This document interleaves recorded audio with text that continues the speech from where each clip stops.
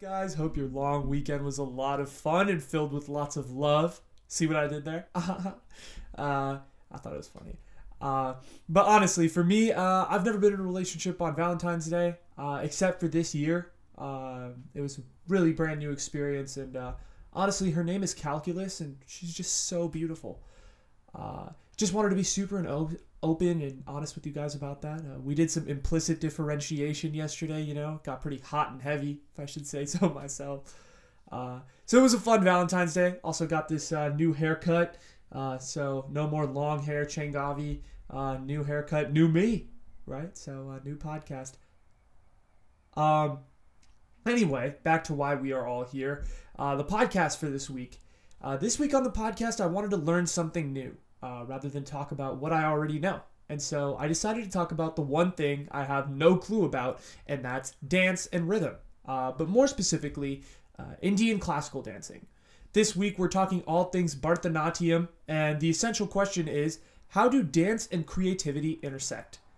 In South Indian classical dance, and well, Indian classical dance in particular, uh, there's a there tends to be a lack of creative expression a lot of the time, and it's very structured. So I'm trying to see what the intersection is between the creative creativity, and uh, that was really just a, a fascinating thought, a fascinating thought that I had.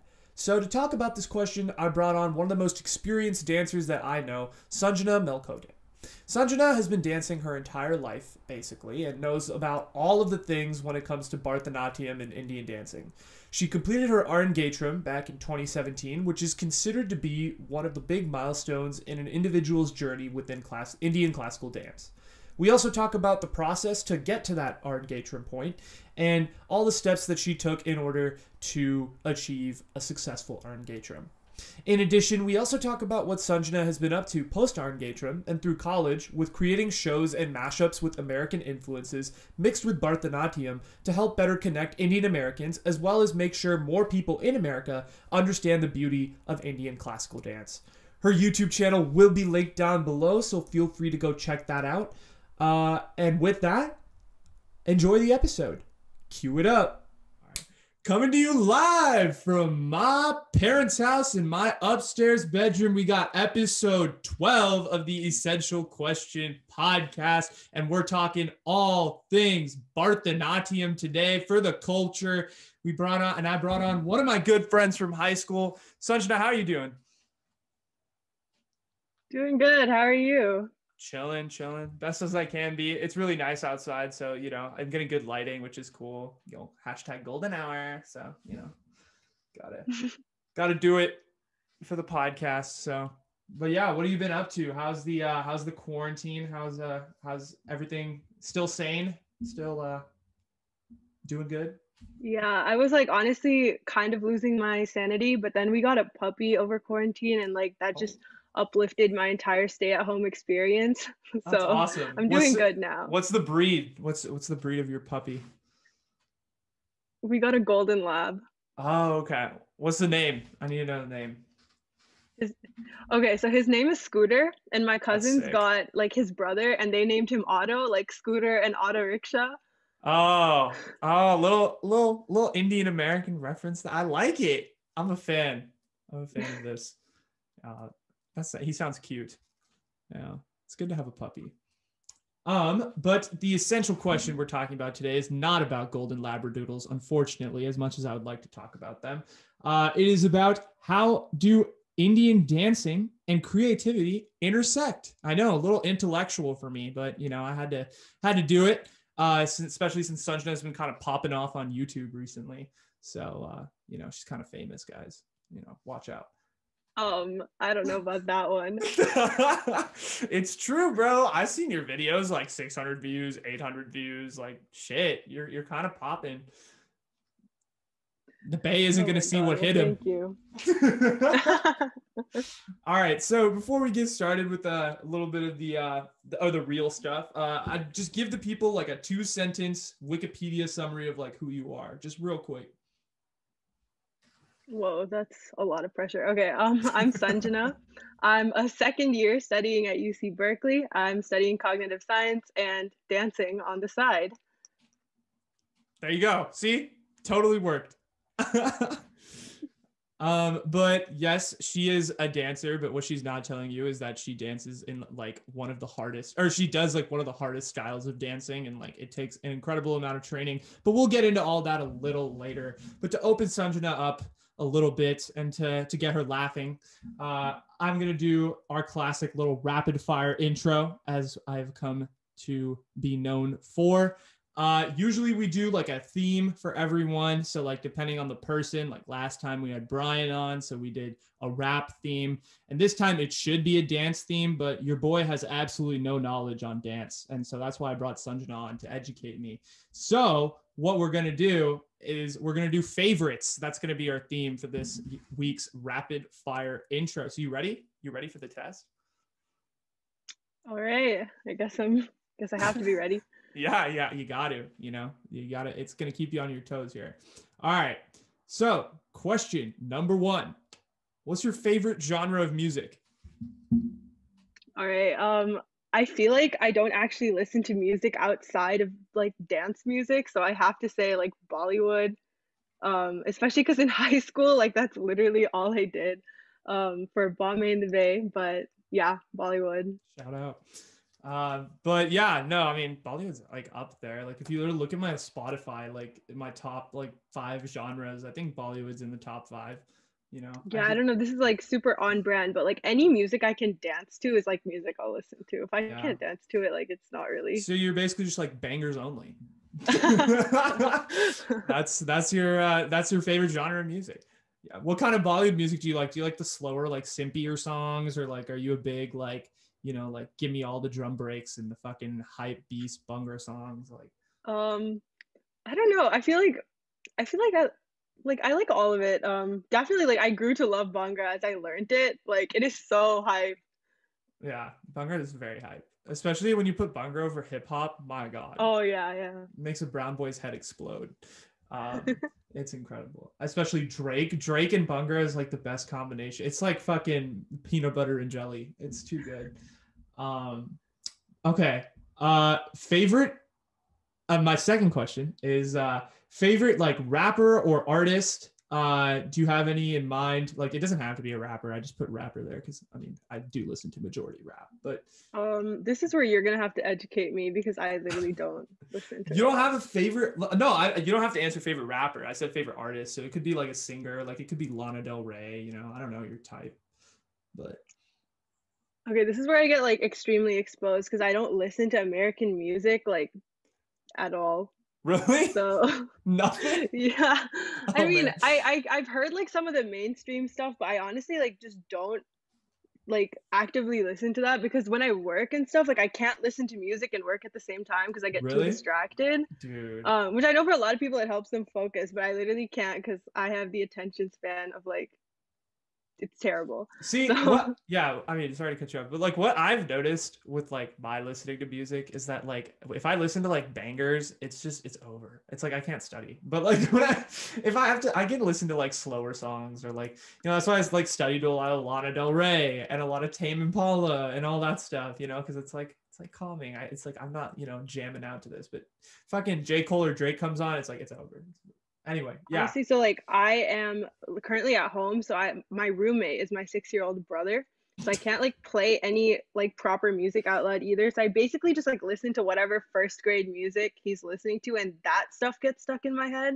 So I'm like kind of losing my mind. I feel it. What's the what's the song of the week? He like he plays this one video game that plays this like farmhouse song, and it's like with like a banjo and everything. And like I literally sing that to myself so much because it gets stuck in my head. Is he I don't know the, why. Yeah. Is he at the stage where he's exposing myself right now. it's all good. At the Essential Question podcast, we love younger children, so we're fans. uh, but uh, that came off really wrong. But uh, anyway, um, but does he is he at the stage where he likes like all like the the Nickelodeon shows, like the the Backyardigans and all that yeah, stuff? yeah, yeah. He, right now, okay, we watched Avatar together, which was really fun. Um, Yeah. we watched Avatar and Korra together, and like all got super obsessed with that. Like even my dad got into that. Um, That's so dope. but yeah, he's like he's really into Peppa Pig right now. Oh my god.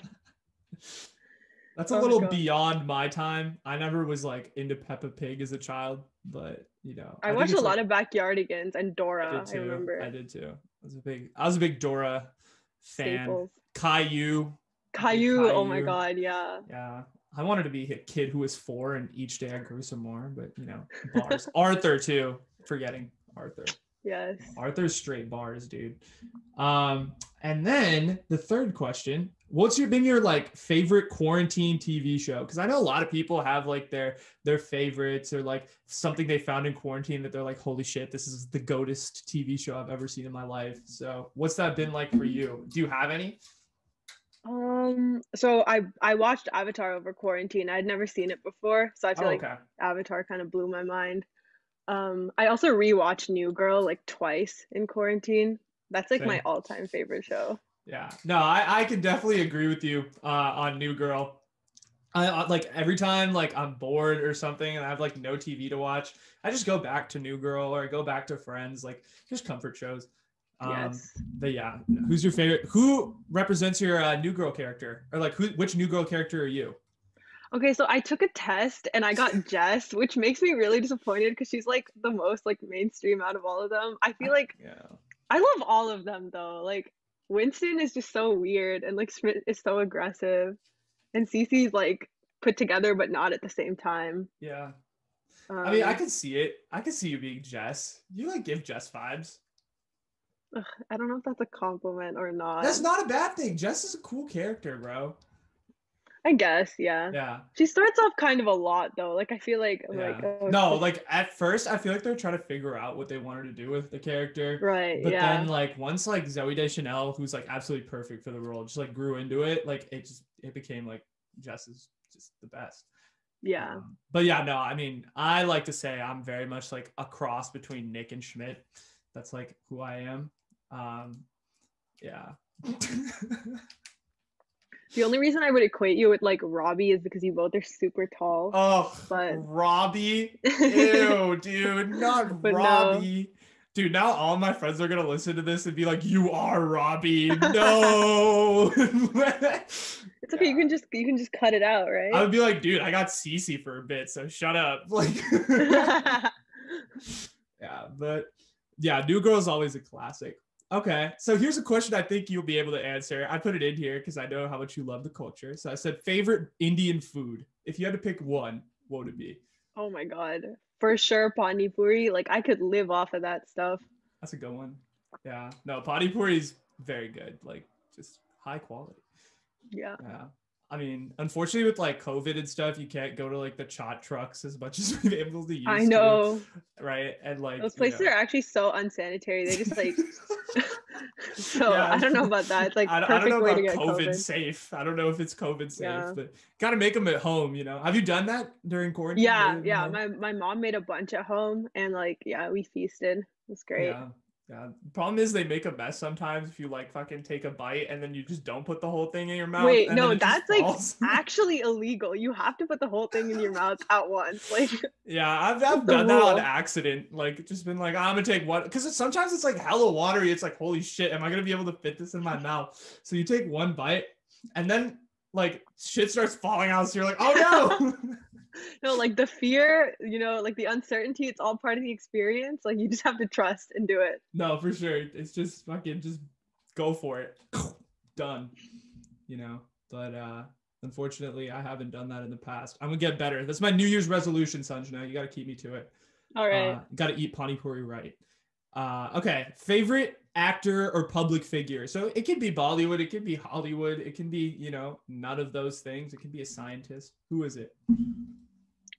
Um, let's see. Okay, I love Zendaya. Like she's like an amazing actor, an amazing dancer, like a beautiful human being. Like by far my idol. I I would agree with you on this, and she's from the Bay Area, by the way. So shout out. Yeah. Uh, but uh, yeah, no, she's she's awesome. Did you like watch Euphoria? Is that how you? Are you just like been into her since like her Disney Channel stuff? Yeah, I basically grew up watching Shake It Up, and I, like me Oh, and my okay. best friend were like, we need to be Cece and Rocky, like dance stars. Um, but yeah, I, I first saw her on Shake It Up, and then like I just have followed her like throughout her entire glow up, like from Disney Channel to now. it's Um, crazy that like she was on Disney Channel and doing all this upbeat shit, and now she's like a fucking coke addict on Euphoria. It's it's crazy. Yeah, It's like, she's she's so but she's good. amazing at it. She's amazing. Yeah, she she's a great actress. Yeah. Um, yeah. If you haven't gone and seen Euphoria, go see it. But you know, do so with an open mind, to say the least. uh, um, favorite social media platform. I know you're not very big into social media. I presume. I presume you're Yeah. like the Instagram type. but, yes, uh, actually, I get a lot of like hate from my friends because I don't post anything on Instagram. But like, I, we made our like Fuchsia dance account, and I've been posting so much on there because, and like, it's funny because my friend who started Fuchsia with me, we like we both have zero posts on our personal Instagram. so we were like, how do you post on Instagram? Like, how do you make a Facebook page? Like, I've been searching this up on Yeah. Google. Like, I'm an actual grandma.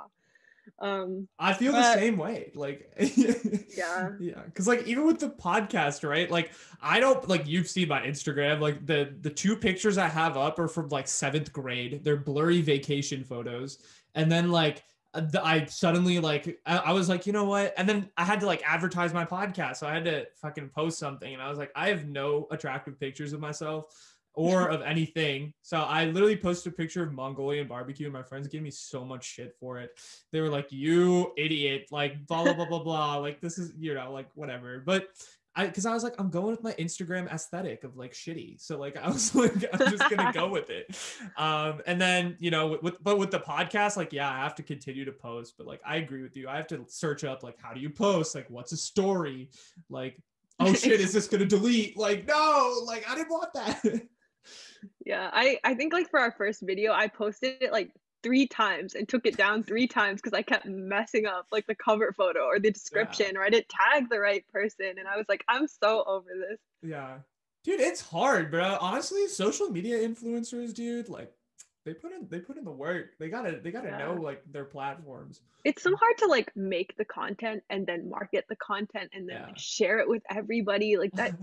Yeah, I kind of just want to make the content, hand it off like just to Right. the internet to deal yeah. with it. Unfortunately, that just doesn't work that way. I wish it did. I, I wish the internet was like just disperse the content for you. yeah, I know. But yeah, marketing it is the worst, dude. Oh my god. I- the way I used to like market my shit, like, cause I used to have a blog before the podcast. Yeah, I like, remember. Dude, I just used to fucking spam message people, and I'm pretty sure they fucking hated me. Like, I was like, "Hey, read it," and they're like, "No." I'm like, "Dude, what?" like, I'm just like, ah, like this is so annoying. But like, so finally, I've gotten to the point where I'm like, "All right, fuck it. I'm not gonna spam anyone for the podcast or anything." So, I'm just, I put it out there. I'm like, if you want to listen, go ahead and listen. I remember the blog days. Oh, um, but your blog posts were great, and your podcast episodes are awesome too. No, so I try, I try, I try. You know, gotta gotta create good content for everybody. Um, this one's a little interesting. Uh, I was listening to sports radio the other day, as I normally do, uh, and they were asking this question. They posed this question. I've actually given this question a lot of thought. Uh, it's it's very deep. It's very intellectual. Uh, what's your favorite condiment? Um, that's a very good question. Yeah, Um, I this was an icebreaker for like um one of the clubs I'm in, and it got like really heated because people Yeah. feel really so like I feel like this is a make or break moment. Um, Yeah, I'll kick you off right now. No. let's see. Oh, okay. I really like honey mustard. Okay. Okay. I can get with that. Yeah. I mean, like, do you put it on everything? Like bread, sandwiches, like I feel like sandwiches and burgers, it works. I'm not Oh, like works really well, insane yeah. about it, but yeah. yeah, it's good. I think it works with fries. It can work with fries too. I've never Yeah. had it with fries, but Should try it. but I feel like it makes every burger better. Like it's way better than regular mustard for right sure. for sure because it's like i don't know like it depends like especially if you have like depends i don't know if you're vegetarian you eat meat but if you have like the uh like like a chicken sandwich and you put a little honey mustard on it woo, that shit is fire. It's great. It's great. Um but man i mean i actually did a lot of thinking about it. I was like what is it dude like what, what is your favorite? And honestly my go-to condiment this may get a lot of hate and i know there's a lot of haters for this condiment. Ranch bro. Ranch is ranch is fire. Pizza, fries, any pretty much anything, most things you can eat with ranch. I mean, even like, yeah, it's just ranch is, I mean, salad. Like ranch is just goaded. Like I don't Yeah. care. I don't care who you are. Like I, I ranch is just really good, and I'll die on Yeah, that hill. it's like really versatile for sure. yeah, it doesn't go with like sweet stuff, unfortunately, right? Oh, But God, uh, no. yeah, but also Trader Joe's ranch, guys, trash. It's the worst thing I've ever had in my life. Trader Joe's ranch is so bad. Please don't get Trader Joe's ranch. My mom bought it, and it's the only ranch we have right now. Terrible, terrible. It's like sugary. It's gross. What makes it like taste different? I don't know. It's like it, you just have to have it. It's like sweet. I'm just like it's it's not the same like buttermilk ranch that I'm used to from like a Hidden Valley, Mhm. right? Hidden Valley's classic. Like, but the ranch that you get from like Trader Joe's, it's just it tastes a lot sweeter. It's just very, uh, you know. So My But dad like- like made homemade ranch once. It was pretty good. that's cool. You know what I also like? Thousand Island. Thousand Island is is up there for me too. Yeah. yeah. Definitely uh favorite favorite dressings. Uh and then second to last question. Or no, last question. So like everyone's got their own like favorite order when they go to a restaurant. So what's yours? What's your go-to order? Any restaurant, could be Chipotle, McDonald's, what is it? Wait, like any restaurant? Like it has to be an order that could be at any restaurant. like could just be, I'm like- thinking like mostly like fast food. Like what's your what's your go-to like McDonald's order or like Starbucks order? But I didn't know like what's fast food you ate, so I was like, I'll keep it open. Well, this is the thing. Like as a vegetarian, like fast food's kind of difficult because like it, there's yeah. there's literally just the veggie burger and fries. so like that is Yeah. kind of by default my favorite order. But I I love to get like the milkshakes. that's fair. milkshakes are so good. Yeah. The chocolate milkshakes. Damn, vegetarian life was so hard. I did it for 14 years.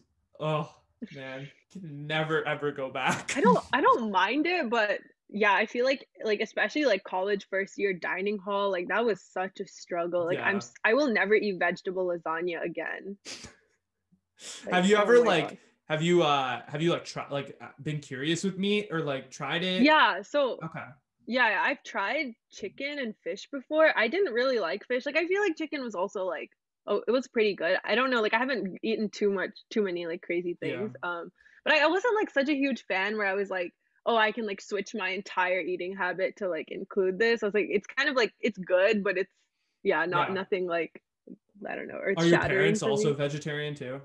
Yeah, my parents are vegetarian, but Okay. they, they like my dad is like they both have tried meat and like so they let us all try meat. My brothers eat meat, but like Oh, I okay, just for didn't sure. really like it, so I was like, yeah, it's fine. Yeah. No, I mean that that makes sense. Like, I mean, my parents are like vegetarian, but more for like moral reasons. And like my dad used to eat meat back in the day, so he doesn't. re- They, they don't really care if we eat, but yeah. Yeah, I feel like it's just some I'm so used to being vegetarian and like my mom's vegetarian food is so good, but Yeah. like as long as I can learn to make food like that, I think I'll be set. But yeah, like vegetarian sure. food just like out in the world can sometimes be rough. Yeah, no, I get it. Um, but like with yeah, I mean like at home, like with if with your parents, like vegetarian food's so easy. Because I mean Indian food is vegetarian is like if you're at an Indian restaurant and you need vegetarian food, like there's so many things you can get. But Yeah, exactly. Because Yeah, it's like so it's- based off the vegetarian diet. exactly, right? Particularly if you're South Indian, like I mean, three fourths of our food is literally Exactly. So Yeah. so you don't need to like change anything or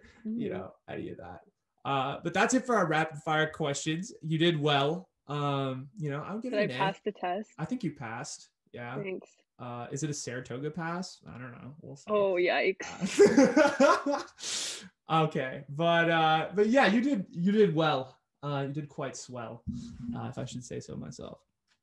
Um, but let's get into uh, the the Bharatanatyam stuff. Um, so I just wanted to give a little context as to what I found on doing my homework on the internet, as I do, because I'm a good student. Stay in school, kids. Uh, so what I found, and you can feel free to add in because you're the expert here. Uh, so like I did some research and I found out that like the dance is actually over 2,000 years old, uh, and it was actually originally performed in the temples in South India. So it's a very South Indian thing. We love that. Both South Indians on the podcast, shout out.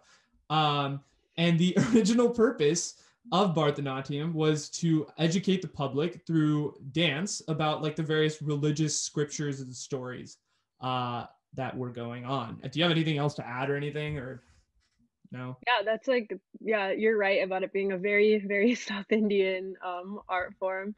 Um, yeah, it started off in the temples as a way to kind of like personify and showcase the stories that were kind of passed down through oral tradition. And then um, as time went on, as like the like era of the kings and the courts um, came in, um, a lot of times like these dancers would these dancers would dance in the court for the king. So there was that era too. And then after that, it kind of became more like a modern like home practice where like a lot of people like um, learned it. For sure. Yeah.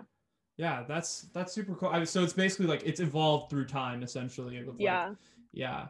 Um, that's that's super cool. Uh, so like, what? Like, let's take it back to the very beginning. Like, we're talking like when you first started. Like, what got you into it? Was it like parental influence, or like were you just a natural? Like, what did you just love dancing, and like your parents kind of pushed you in that direction? Like, what was the uh, what was the catalyst for all of this? Yeah, so I was like, I've always loved dancing. According to my parents, like I would dance a lot as like a little kid, just like at home. I'd be like dancing to whatever music they put on.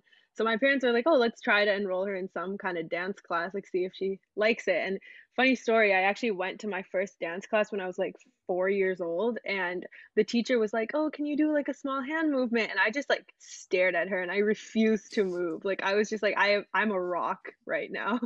And she like tried so hard to get me to dance and um I just didn't. And then she told my mom, she's like, "I don't think your daughter like is like interested in dancing." And then I then my mom took me home and like as soon as we got home, I start dancing again. So my mom was like, "Literally, what happened to you in that class?" Yeah. So I um I took like a year break. I think I was just really shy, but then I went back a year later and I actually really liked it. Um and then as a little kid, I did Bharatanatyam, but Bharatanatyam is like really really like technique heavy, like requires sure. a lot of hmm discipline. So, so I also did Bollywood on the like on the side for fun, which I found a lot more fun. So I started off learning Bollywood and Bharatanatyam together. Um, and I enjoyed dance a lot more with Bollywood because it was like more free flowing and you can just do whatever you want. But then in. Bharatanatyam, there's so many like fundamentals and rules that you have to follow. So as a little kid, I was kind of like, wow, this is a lot. But I made some good friends in dance class, which I think kept me going back.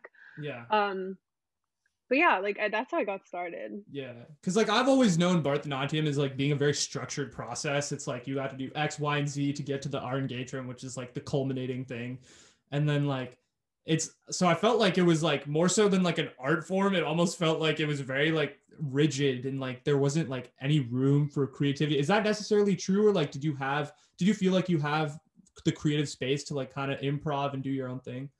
Yeah, I feel like definitely now I have that like creative space to do whatever I want, but it definitely comes after years of paying your dues and like learning the structure of the art form. And I feel like um as a little kid that was pretty hard. And I remember in middle school, like I think everybody goes through this when you have to spend like 14, 15 years before you feel like, okay, I kind of have a grasp of how to do this style properly and create. Um I like in middle school, like I absolutely wanted to quit. I was like, this is just not fun. I'm just learning piece after piece. And yeah, like I didn't relate to any of the stories about like hmm gods or things in India. And like I guess like my parents kind of like brought me up like with these stories and values. So I, I related in that way, but it was like none of my school friends really cared about this. Like nobody like thought it was cool. So I, I I like really wanted to quit and be like a ballet dancer, like something more relatable in America, right? Um, but then I think high school came around, and yeah, I did my Arangetram, which I think the misconception is that it's this huge culmination, end all be all graduation kind of thing. Right. Right. for me, it was like really the beginning. Like it was the first time where my teacher was like, "Here's a story. How would you want to express it? Like, what do you think? Like, how can you relate this to your life?" Like, so I did this piece. Like, my main piece was about Devi, who's like the female goddess, and hmm then like aspects of Devi, like she's uh, she's the mother of the u- universe. She um teaches art. She's um somebody that like gives wealth if you pray. So it's like you have to think about like how can I connect this to my life? So like the mother of the universe, like obviously my mom, my grandma, like people that inspire me, like my teacher, my dance teacher. So it's like I was able to like bring those aspects into my real life and then the stories became easier to showcase and um i think that's like how i first got really interested in choreography because my teacher did actually a really good thing and she when she was choreographing she would like sh- like choreograph like on me in front of me so she'd create the piece like as I was in class. So I got to see like the storytelling process and I realized that like Bharatanatyam's just you and any dance it's like you just take a story and you translate it to movement. Like just because it's a dance form from india doesn't mean you can't do the same thing. Like doesn't mean it's restricted to these stories of gods and like ancient things. You can definitely tell modern stories. So that's like what i learned as i was doing my Arangetram and i think for for me the Arangetram was like my first like real big performance where i was like wait i can actually do something really substantial mm-hmm. with dance yeah. It so definitely like, wasn't like the last. Yeah. So like you basically just gave like the whole summary of everything, which is dope. And like I think that's I mean, I, I think for like people that don't know, like Bharatanatyam is like an incredibly like rigorous process that takes like years upon years upon years of just like blood, sweat, and tears, like trying to learn those fundamentals, like Sanjana was saying. So like take us kind of through like the process. Like what are kind of the stages that you go through as like a Bharatanatyam dancer? Like when do they know like oh you're ready to do the Arangetram? And like how do you what's the process? Like what's the preparation like? Yeah so um the first three years of learning the the dance like you just learn steps. Like it's literally you don't even touch music till your fourth year which for me i was like as a little kid too i was like i want to dance to songs not to my teacher telling me to hit my foot on the ground right? Mm-hmm. so you learn technique for the first three years and then you learn basic basic songs. Um uh, and I learned like from like the more basic songs to the more advanced songs like i learned that till high school. Um the first couple songs start out with just technique so it's like the steps you learn you put it together and you learn a song. And then as you get a little more advanced there's expressive pieces which i think is like the real real beauty of bharatanatyam is like you can express stories. Like it's a very much a storytelling based art form. Like all of the um, expressive side of the dance is like based off of stories. So that's where I really started to get interested because I was like, these are like I could pick any story, and as long as I know the technique, I can translate it to movement. Um, right. And then in high school, that's when I learned like I learned more advanced like storytelling based pieces, and it's actually really interesting now. I'm still learning, so now like that i'm in college and like you know i guess have been uh, like was on my own for like a couple semesters before coming back home my teacher has started to teach us like more pieces about like that relate to your personal life. So it's like pieces of like it's actually not structured around a god or anything. It's just like the it's called the hero. Like the person of the dance is like the hero.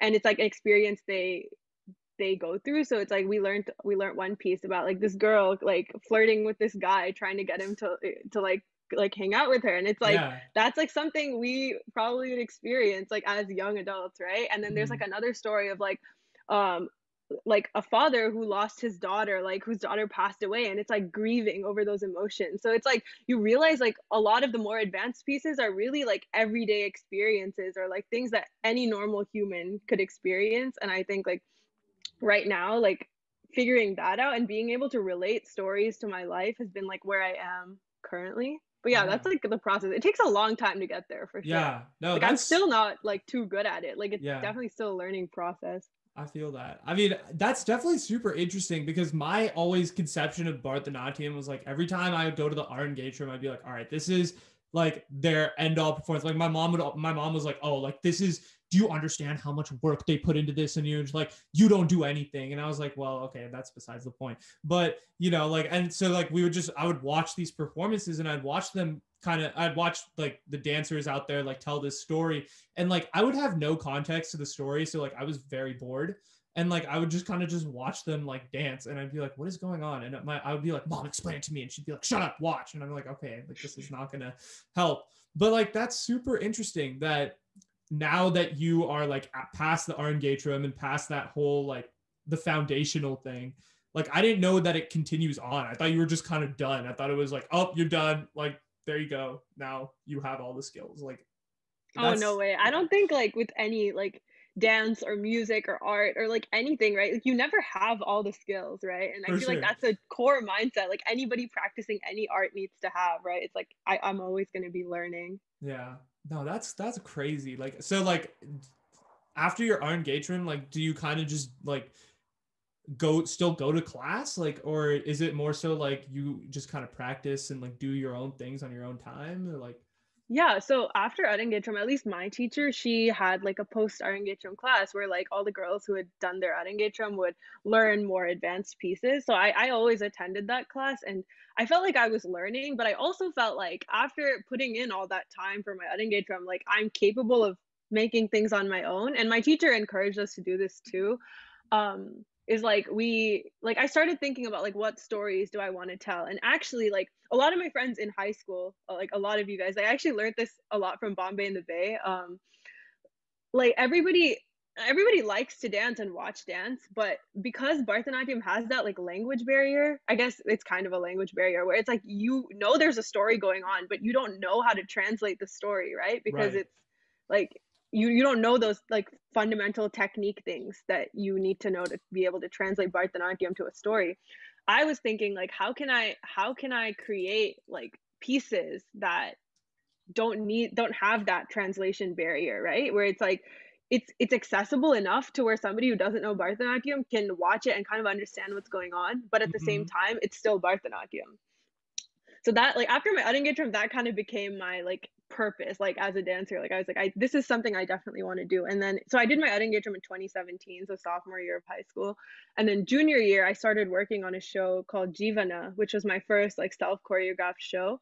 And i basically partnered with this organization in india called smile foundation and they had uh, a, a health campaign where they um, basically are raising money to create mobile hospitals for to go to rural areas in india and provide healthcare so I was like, I want to fundraise for this organization and work with them through dance. And I want to create awareness and accessibility through dance. So what I did was I sat down, I researched about this entire issue about like inaccessible healthcare in rural areas. And then I wrote a story about a girl who lives in the village and she um, she basically grows up in the village with her best friend and they both love to dance together and one day this girl gets a um, gets a disease that like starts to kill her but because she has no um, access to healthcare the disease kills her. And it's like if she had access to healthcare you know she would have survived and that's the whole point right that's mm-hmm. the whole mm-hmm. reason we're raising money in the first place so i got together with two of my dance friends and we basically we, we wrote the story together and we started choreographing the piece and one of our one of my friends was the girl and then one of my friends was her best friend and then i was like the personified disease so we basically took this idea of a disease and we made mm. it a mm. character like this really evil character that takes over your life and we took we basically like took Bharatanatyam choreography, but then added in like very simple aspects like puppeteering. So like I would go behind my friend and like like pretend to move her hands around. So it's like this disease is controlling her, which is a pretty translatable like concept and right, movement, right. right? Yeah. And so yeah, so we made that show and we made like a 30 minute show and we had um one of my friends do an English voiceover. So it was like this girl t- taking us through her story. Mm-hmm. And then we had music, inst- completely instrumental music. So there was no, like, you didn't need to understand the context of the lyrics or anything. And it has this English voiceover going through. And um, that was like my first, like, like, trying to combine like a, a western idea or like western presentation with bharatanatyam yeah. and ever since then like yeah i've just been trying to make more choreographies that work that way yeah, no, honestly, like I think that's so needed within our society. Like, I particularly, I mean, like as Indian American kids, let alone like the rest of society. Like, I feel like me myself, like I don't necessarily understand what Bharatanatyam is, and I feel like a show like that, you know, with the English voiceover, with all this explanation, would like get someone like me more interested and like more like inclined to learn more about the process and like about the dance and all of that because like I mean, growing up, like I, you know, went to all the shows, but I never had any of that context or that information. And I think that's just that's needed. And like I feel like with more of us, like first generation kids coming up and going through all these processes and being able to kind of not Americanize it, because I feel like that's a little derogatory, but like I feel like kind of put our own spin on it. Like I feel like that's just going to to benefit the culture like even further. Yeah, for sure. I feel like as like Indian Americans, like you still need to be able to relate to it, especially because like as I learned the pieces, like these are like super hardcore Indian stories and I'm like, yeah, the Indian side of me relates to this, but like mm-hmm. the side of me that's grown up in America like doesn't really like necessarily feel passionate about these stories. So it's like sure. what are the stories that I witness in my day-to-day life? Like I'd rather be dancing about those because I feel connected to those. Yeah. Yeah, no, definitely. Um so I know like uh what's it called? So like I know obviously with like the Bharatanatyam dance, like you were talking about, there's a lot of like religious undertones to it. Like how are you like a religious person and has like dance helped you connect to God if you are, but if you're not, like how have how has religion kind of played a role within the dance itself? Um yeah, I, I wouldn't I, I honestly don't know. I don't think I'm religious like personally. I think my my family's pretty religious. Like my Mm-hmm. grandparents live with us. My parents are religious, but even my parents like we practice religious customs more for the tradition and the culture than it really like this connection to God. Like uh, at least for me, yeah. Like I think I valued like the tradition and the fact that like this custom has been like practiced for so many years and um we're just like carrying that on. Um but I feel like I haven't really like I'm not like a super religious person where I feel like an in, like a really extreme connection to God. Um, and I think Bharatanatyam in the same way. Like I I really like the art form because I love to dance and it's just like a way for me to continue dancing, but also I really like the stories that come out of the dances and like even like even stories about gods like can relate to like our lives because at least like Hindu mythology is like very much personified. Like all these gods are people, right? So it's like hmm they all had interactions, we're all in situations. Like there are stories of like being strong or stories of being weak or stories of jealousy or stories of, you know, courage and like all those like morals and like values like obviously come in our lives. So I think um Bharatanatyam has helped me connect with like the culture and the tradition, but I don't necessarily think it's like made me more or less religious. It's kind of like, oh, here's a set of stories and characters and values that these stories um bring that I just like have learned through the art form. Um but yeah, I think it's definitely like like being like a Hindu and doing Bharatanatyam has like given me like a lot of discipline because as a little kid, like sitting through pujas or like long Yeah. dance performances, you're like, I literally do not know what's going on and could not care less, but you have to sit there even though your feet are like completely fallen Yeah. asleep from like sitting in crisscross applesauce like for Oh like my three hours. Oh my Um Lord. That happened. Dude, yeah, that's me at 20. Like it's nothing strange. I know it's still a struggle, but I feel like, like it's given like some some kind of discipline, right? Like you can sit there and just listen to somebody like go off in Sanskrit Yeah. for so long. Yeah, dude, honestly. So yeah, I value that, but I don't Yeah. think like I don't think I have like a really like deep connection with God like probably other Hindus do. Yeah. No, I was just wondering because I mean, I know it's like a very like, and there is a lot of religious context to it. And I was just like curious. I mean, I didn't mean to put you on the spot when it came to religion Oh no, no. Yeah. but uh but yeah um i so obviously to uh to transition from that uh i've again did some more homework and i saw that there was actually like i didn't really realize that there was like multiple different styles of like classical dance so there's like kathak and there's like a bunch of others that i can't name off the top of my head eight different types actually and uh you specialized in Bharatanatyam. So like, do you know anything about the others and like, is there overlap? So like, what what do kind of like some of the different styles entail and like, what how does that all work? Um yeah, I definitely am not an expert in the other styles. I didn't even know there was a. I can remember like four or five. So there's there's Kathak, Kuchipudi, Bharatanatyam, Odissi, Mohiniyattam. Like okay, that's like a, just a couple of them. Yeah, yeah. And the the main difference is like they stemmed in different parts of India, right? Like they all started in different areas in India. Mm-hmm. Um, I used to think they were all exactly the same because the costume looks the same. Yeah. Um, but as I've like grown and obviously learned one of the art forms deeply, like they're so different. Um, they, just from small things like in Bharatanatyam, a lot of times you just use dance, but then in Kuchipudi, like lip syncing is a really big aspect of it. And then in Bharatanatyam, like your core has to be straight the entire time. But in Odissi, like waist movements is a really, really um like core part of the dance. hmm And in Bharatanatyam, like moving your waist is like absolutely forbidden. Like it's all straight and like in one Yeah. place. But in in Odissi, it's like very controlled waist movement, which literally like one of my really good friends does Odissi, and when she was doing those moves, like I couldn't even do it because I've been trained to Yeah. not move my waist at all.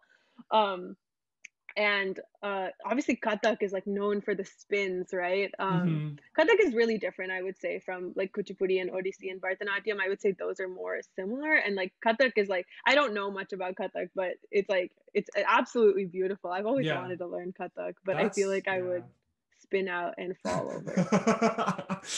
Dude, no, I mean, like, I see, like that. Those are like subtleties. I feel like someone like me, who's like not very necessarily well educated within dance, would like realize. I feel like they all look the same, but like that's crazy that like you have to keep your core straight the whole time. Like, what is the Yeah. conditioning with that? Like, do you guys like have to work out and stuff? Like, Um, I I don't know. It's like you, the pieces we learn are like anywhere from three minutes to like 45 minutes. Like one piece can be 45 minutes.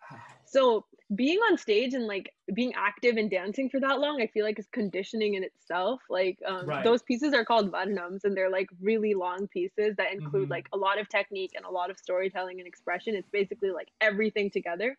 So whenever we didn't have stamina, my teacher would be like, "Go practice varnams," because that's like one surefire way to first of all die, but also like get really strong. it's like the basketball coach's version of go do suicides. Like, yeah, literally. yeah.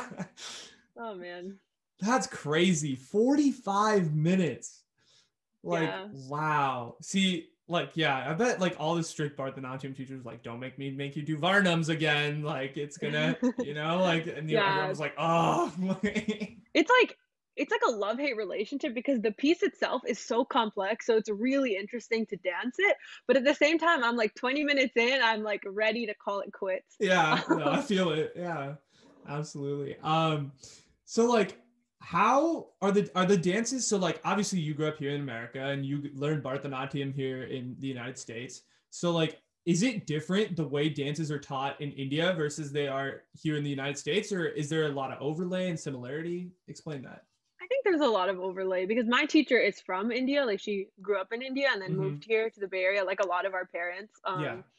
So i feel like at least for this generation there's a lot of overlay. It's very rooted in like oral format. Like the teacher can just once once you learn all the techniques so like each each step has its own like um, syllable or label right? So like my Mhm. teacher can just sit there and list off like five labels and you should know those steps and you should just be able to dance it which i think is insane because when i was little i was like i don't know how people do that. Like they just say five steps and you just know the combination. Like you don't even need to see it.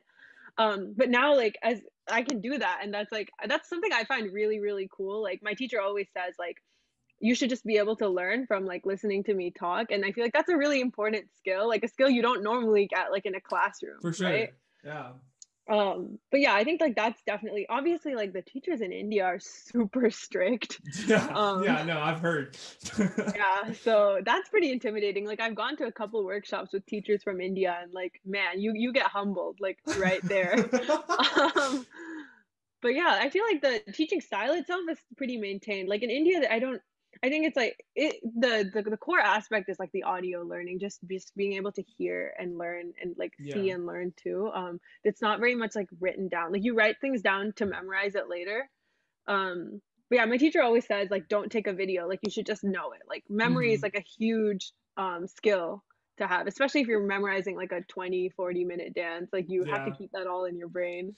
You know why I'm laughing so much right now is because I used to. So me and Sanjana used to dance together in high school. we used to do Bombay in the Bay, and I was the biggest fucking loser when it came to dancing. I was so bad, and I would complain to her all the time, like I don't know the dance. I didn't memorize it. I didn't watch the video, and then she's sitting here and talking about how she had to like memorize like an hour's worth of dancing, like as like a six year old, and I'm like, oh, I feel so bad. like, No. oh man, that's so funny. Um, but I know like you kind of alluded to it earlier. Uh, the relationship between like the, I've heard from my like my parents and from like other adults in my life that have like done or participated in like the Bharatanatyam process. They've said like the relationship between your teacher and like the student is like so important. So like describe that relationship and like what has it like been like for you and like how has how have you like grown from your teacher and stuff like that.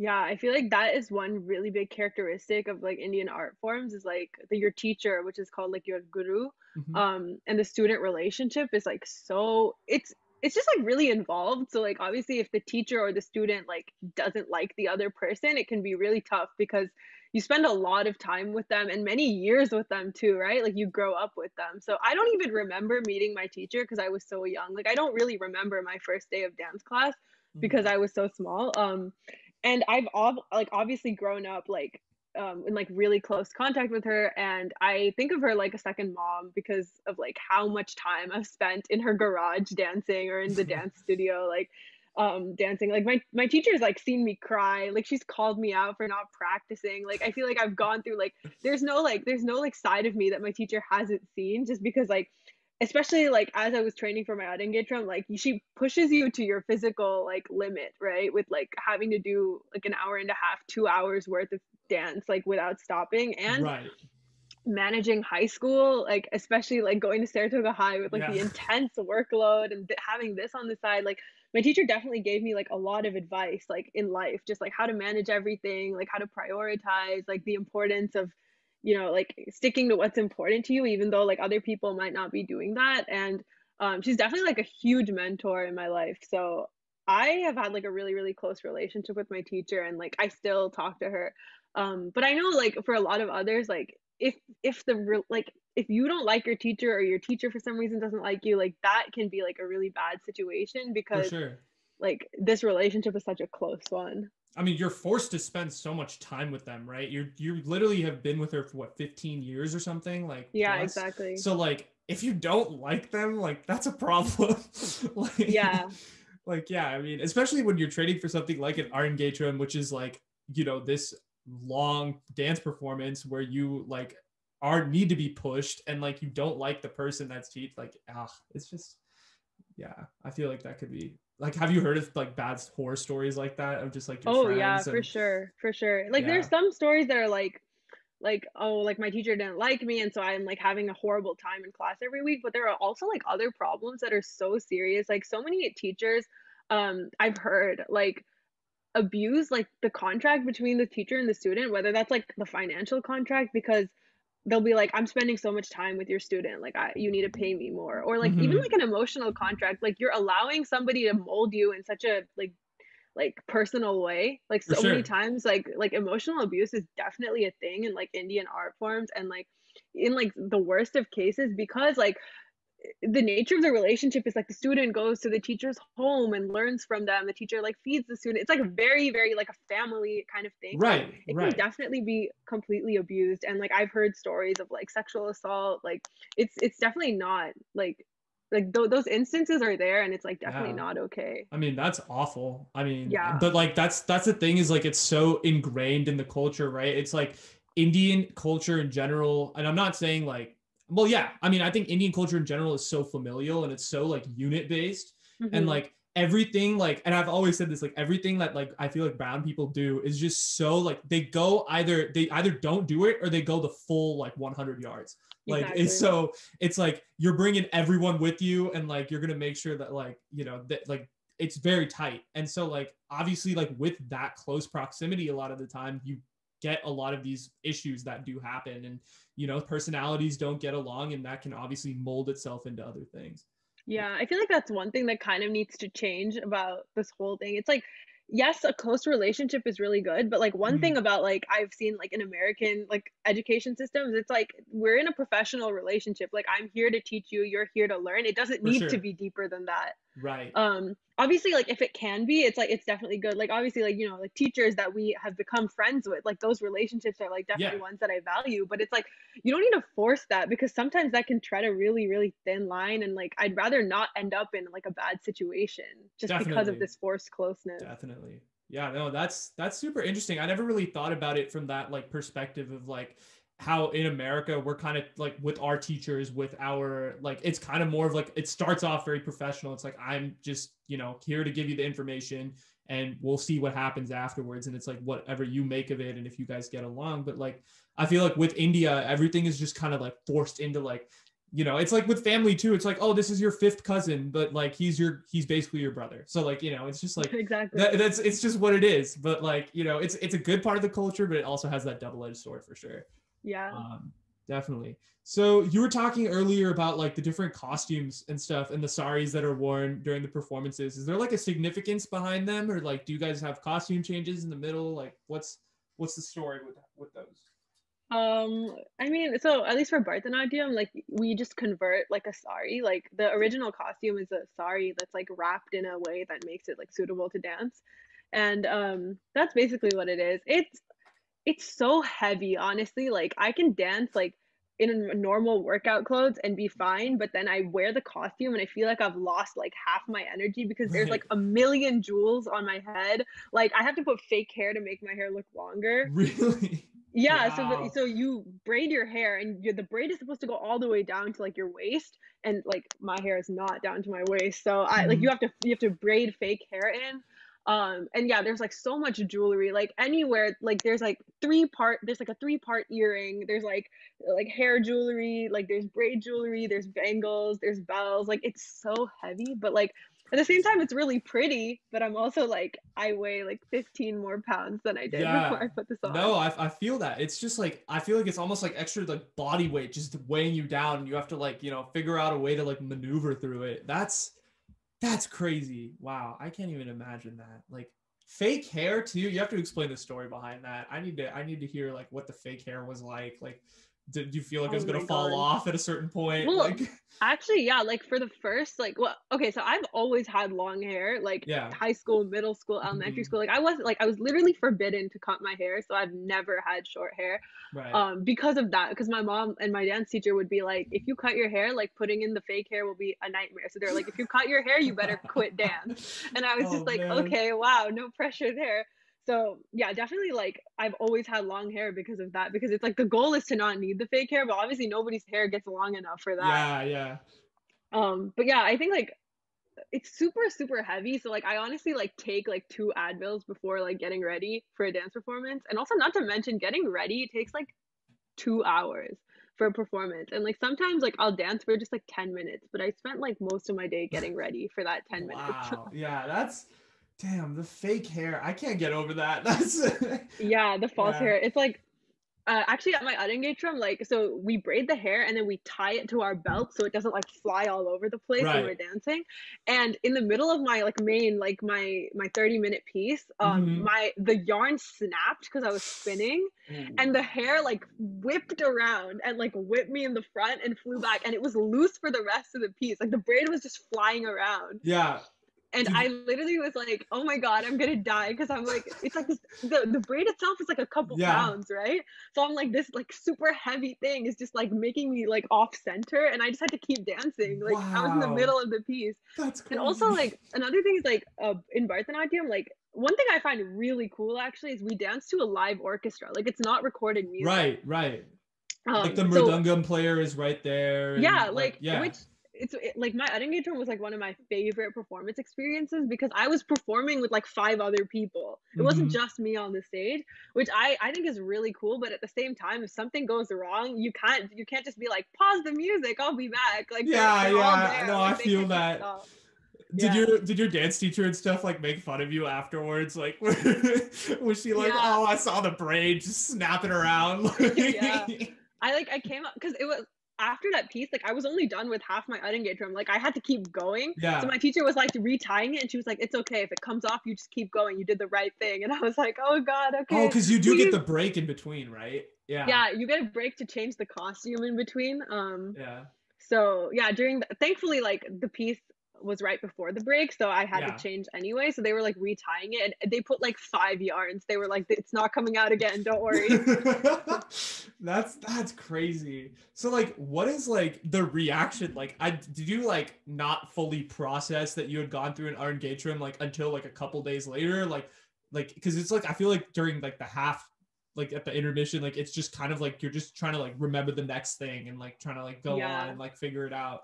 Like when did Yeah, you fully sure. process like holy crap, I really did that. Like I like I, st- I feel like I still like haven't. Um I, I look back at my Arangetram videos and I'm like, how how how did I manage that? Like I Right. right. even now, like I'm nowhere near that like fitness level to pull that off again. yeah.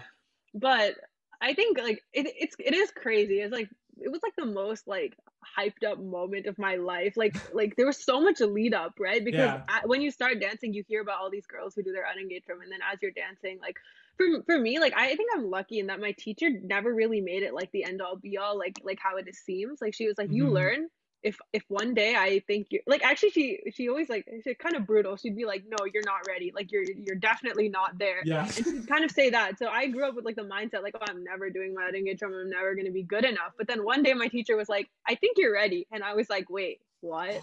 Like after 10 years Yeah. of telling me that I'm literally never gonna dance on stage, you're like, I think you're ready. And so then I spent like one year kind of like just like being more serious about dance. And then I spent one year like formally preparing, learning the Yeah. pieces, like training every day. Um, and I would like practice at like five in the morning, do like one round of the piece, like with my mom watching, and my mom would give me feedback. Then I'd go to school and come home and then go to practice Wow. um in front of my teacher and like it was it was a struggle like yeah, Yeah. that's why i'm like i still don't know how i did that because i could cannot even bring myself to wake up at like 10 a.m now um but yeah that might just be like the college life Yeah, kicking in so, like, but wow, that's crazy.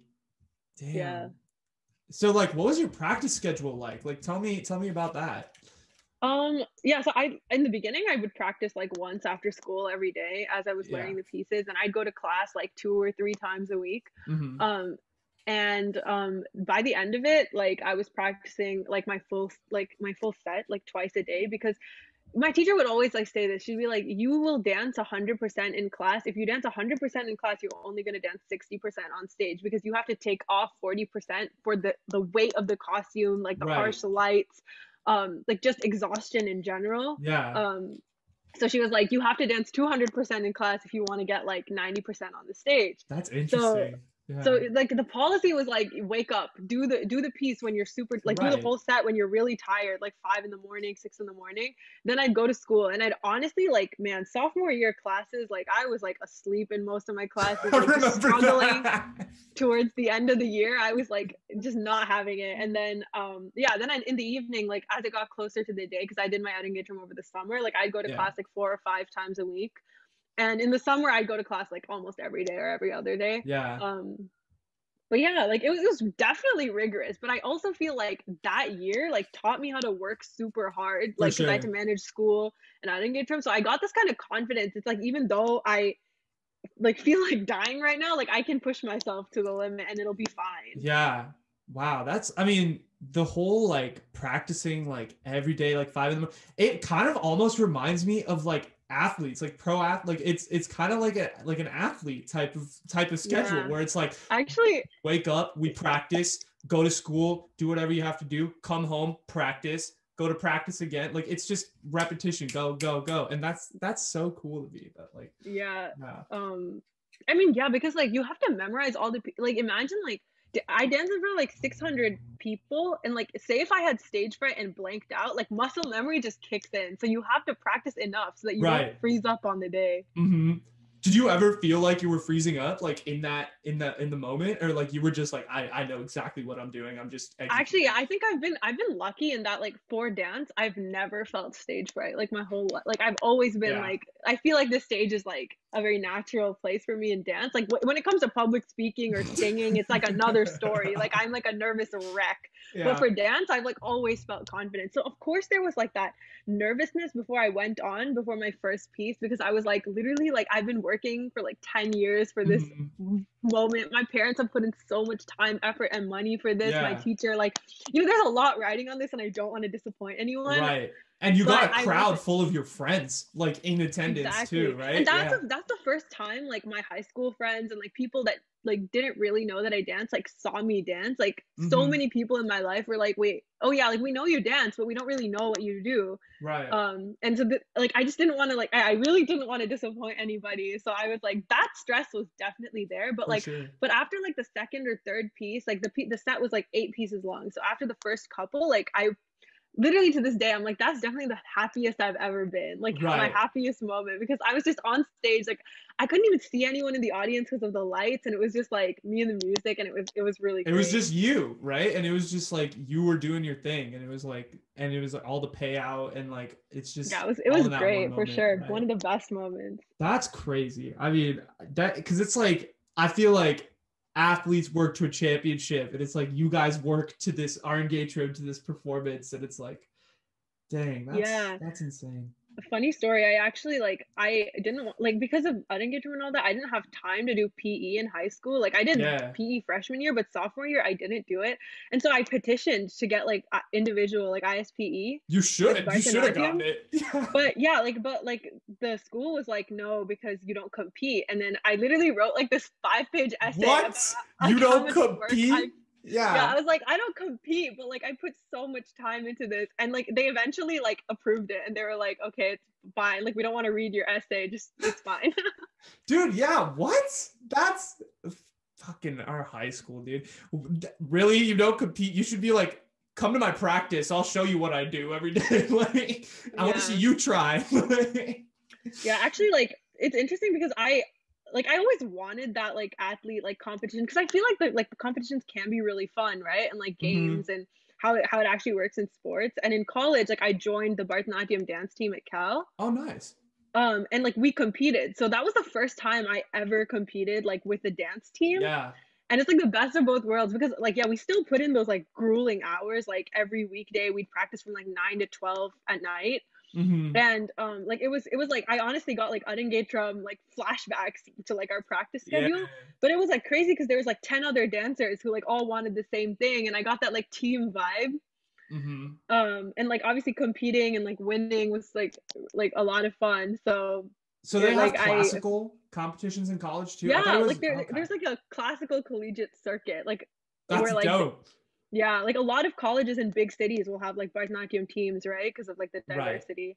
Um, and yeah, like it, it's really cool because you meet a lot of like other dancers from other colleges who are super serious about dance and like are really good too. So Mhm. it's like it's really crazy when you're like, man, I'm like not like everybody around me is like so much better than me, and that's so inspiring. Yeah.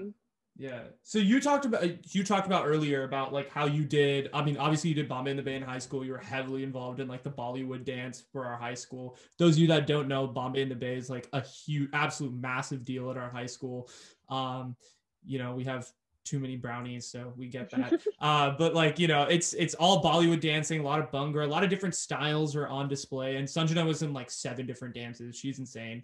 Uh, and she like our senior year, and so she did that and she also like experimented with i'm presume like Bhangra and other styles so like what what do you like like do you like certain things about those compared to bharatanatyam or like what what's your feeling like compared to bollywood Yeah, see, I'm not like a professional Bollywood or Bhangra dancer, and Mhm. I definitely don't want to say that those art forms like don't require work because they definitely do, right? Like I'm just like some amateur who is learning from YouTube videos. right But I feel like having those art forms as art forms that I did for fun, like not seriously, like just learning from YouTube videos, Mhm. dancing with my friends, like I think that was so great and like a different kind of happiness, especially like as frustrating as some of the practices could be. Like it was just so fun to like dance with like our huge group and Yeah. um like bond over like, you know, horrific co-ed practices and oh all my that. god don't even remind me dude it's actually around that time of year isn't that crazy Yeah, oh my god, it is February. wait really i think this would have been the weekend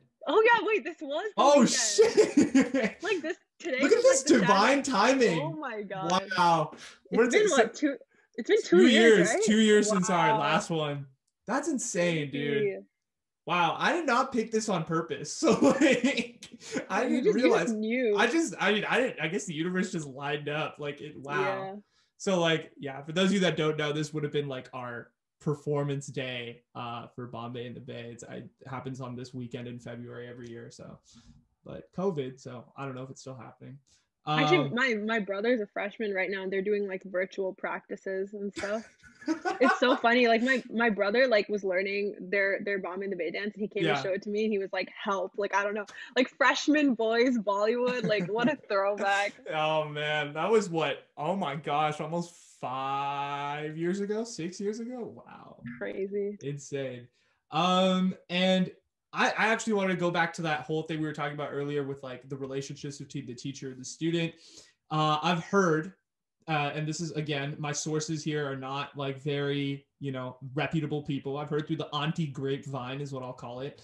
Uh, that there's a lot of like inner competition between like the studios and like between like the Indian dance studios and like the gurus and the teachers and it can get really bitter from what I've heard like explain like what that whole like mom student teacher like weird relationship is like and does it get bitter like is that true Honestly, like I think it does for sure. Like yeah it's a bunch of I don't want to like throw any shade here, but like Yeah. it's just a bunch of like Indian moms and Indian girls and like uh, like I think like with these communities comes a lot of drama and For sure. highly unnecessary. It's also like part of that toxic like Indian culture where it's like competitiveness. Oh, look what her daughter's doing. Yeah, look what this yeah. person's doing.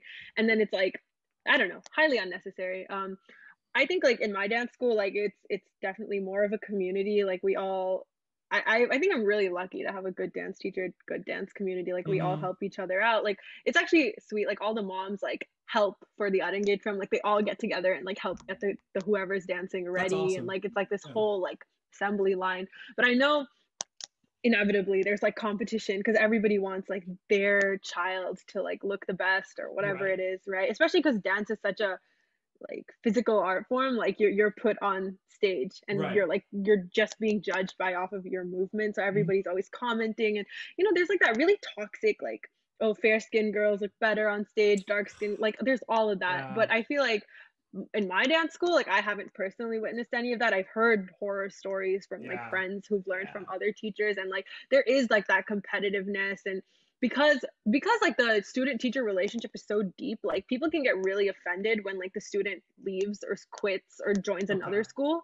So it's like imagine like if if i transferred out of berkeley to like you know some other school like Mhm. my berkeley professor is not going to come like hunt me down and hate me right it's like oh you just didn't like berkeley wasn't a fit for you so you moved to another school Right. but I feel like that's the problem here. Like some teachers take it really, really personally. Like they're like because of the personal relationship, it's inevitable. It's like it's like kind of like disowning like a parent or something.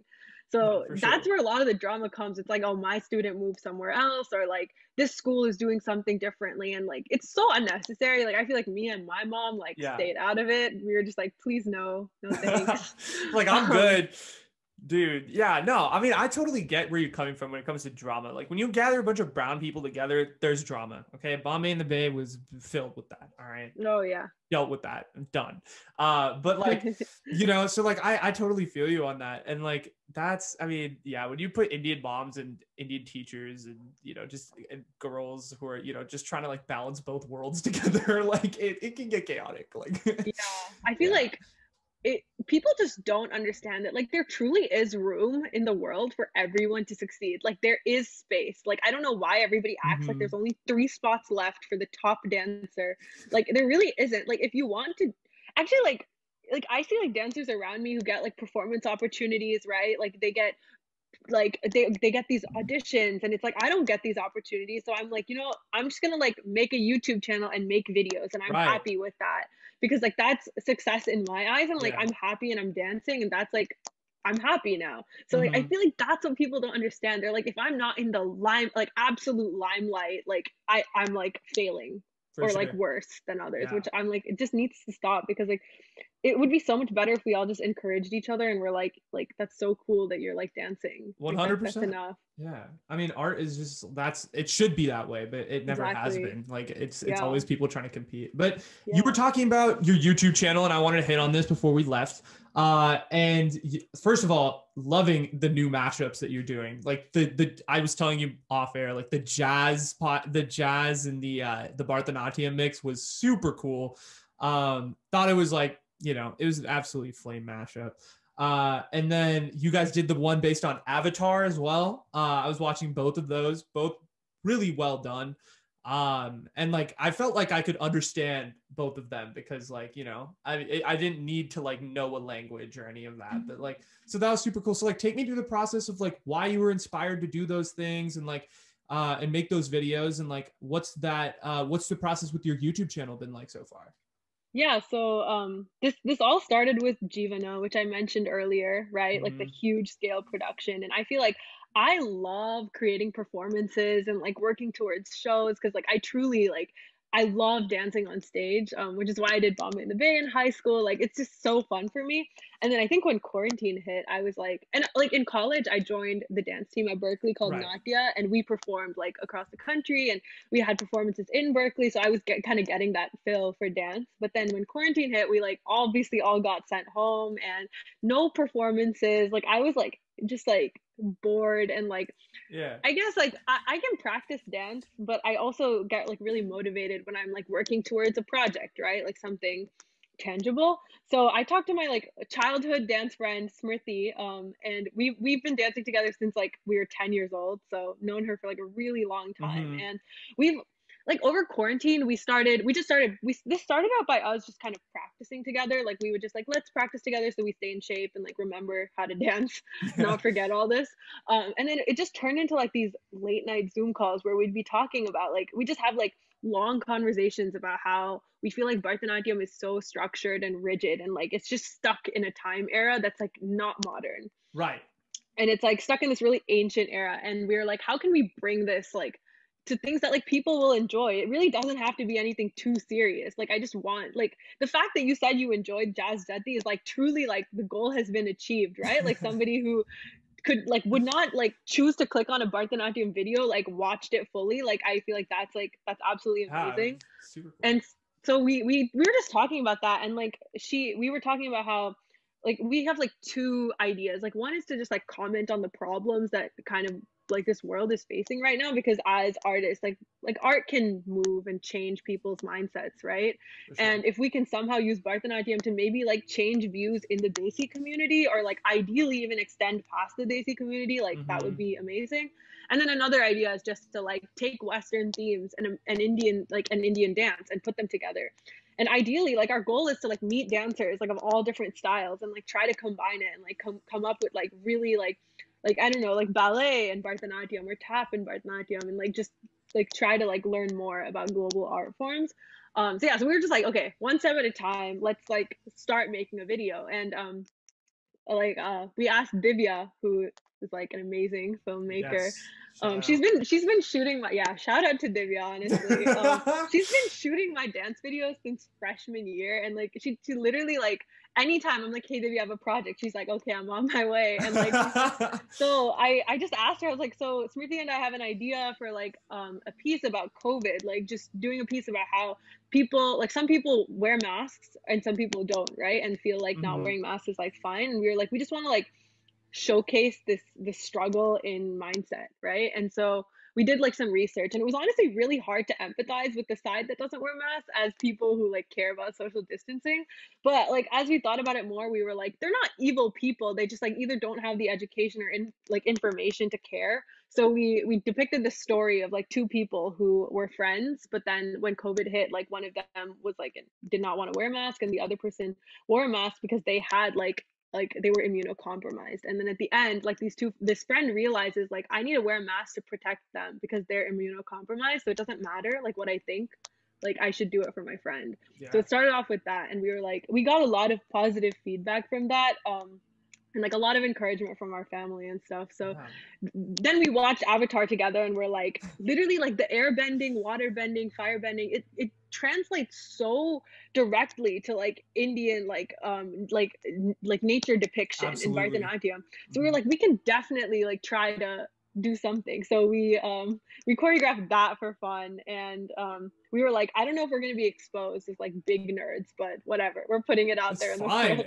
I thought it was super cool. Like even the COVID thing, like that's so like needed, like within our society, you know. And like it's always cool to have artists comment on events that are taking place and like Yeah. use creative formats to do this. And I feel like with Bart the Bharatanatyam, this is like something that really hasn't been done before. And like you guys are really doing something that is absolutely like it's first of all it's awesome and the quality is incredible and obviously Divya does a fantastic job with the filmmaking so shout out again Shout uh, out. and but like it's just like I feel like we need more of that. We need more of like Desi culture and like these little niche things that people don't really talk about and just like kind of bring it to light. And you guys are doing a fantastic job with it for sure. Thank you. Yeah, I think like our goal is like we're we identify as like Indian Americans and like we have to create that identity somehow, right? Um, it's not just like learning Indian things or living in America and like just doing Bharatanatyam. And like for Mhm. me, I, I always thought like I have to move to India to succeed in Bharatanatyam. But like that's so not true. Like you just like especially with the jazz jati idea, I think um we really like had fun with that because we were like, what if we pretend we're like gonna start like a Western jazz concert and then we just like break out into dance That was And, sick. um, it was so cool. and like we took the whole idea of like jazz improvisation right like when the background like the background musicians are all like sticking to one beat and then one person kind of goes off, right? That's like the jazz format. So we did that too. Um, and we had like we each had a solo moment where we came up with whatever we wanted and then the background people had the instruments and um, it was also like such a challenge to do that virtually because we did all the practices over zoom mm-hmm. um, and like yeah our, our other friend shiny like she we, we did it completely virtually so we never met up once for this and um, yeah so i mean it was it was really fun and That's i think cool. we're like super inspired now especially because we've been sharing it like on facebook we definitely don't have like a huge viewership but like whatever yeah. support we get is like definitely appreciated and we're like really excited to keep making videos y'all know what to do i mean her their sanjay's youtube channel is called what is it fuchsia dance how do you say fuchsia dance fuchsia, fuchsia dance. dance fuchsia dance sorry for completely butchering the name fuchsia dance I'm gonna link it down below. Make sure y'all go check that out because I mean they are doing fantastic things and they're only gonna continue to make more videos. At least I think, right? Thank you. Yes, I have to say it. Like, comment, subscribe. Woo!